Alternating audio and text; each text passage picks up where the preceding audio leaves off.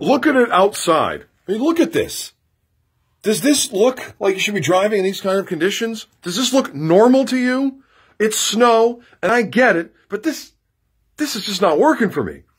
Jay Dawg's walk to work earlier today. It was a tad, uh, how do I say this? A little slick, a little slippery today. So, that being said, glad that's over, and now, uh, now I gotta walk home in this stuff. So, anyway, with all that being said, tonight's, uh, Bow and, uh, Bishop Brady girls basketball game has been postponed until tomorrow. It is a Hall of Fame uh, day now instead of night at uh, Bow High School. Some of the uh, great athletics, uh, great athletes of Bow are going to be inducted into their Hall of Fame tomorrow for Bow High School athletics.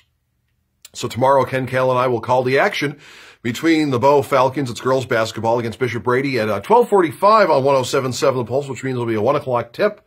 We'll have it for you on 1077 The Pulse. So today, I only have about a minute to go. Uh, earlier in the week, Tara Madison of 1055 JYY gave me one of these and gave uh, the entire crew of Binnie Media one of these. And these are the pins. See, I'm wearing it right now, right there, for uh, Go Red for Women from the American Heart Association. And today's the day. It's the week to do it, but today's the day, the last day to do it. So go redforwomen.org. That's the website to go to for uh, the American Heart Association and uh, go redforwomen.org as today is Go Red for Women.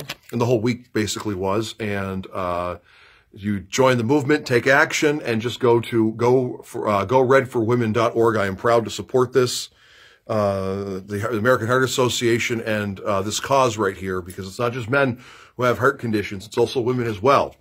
So um, 80% of cardiac events may be prevented with education and lifestyle changes. So please, uh, go redforwomen.org. Proud to support them. Talk to you tomorrow, uh, either before the bow game or after the bow game. See ya. Be careful.